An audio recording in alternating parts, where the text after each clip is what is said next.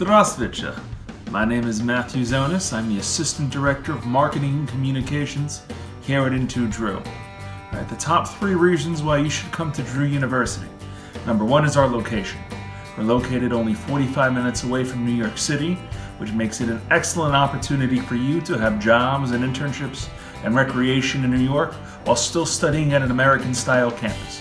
Number two is our liberal arts component of our academic education, where you'll learn valuable critical thinking and interdisciplinary skills that'll make you a valuable candidate for whatever job you want to choose. And number three is our experiential activities.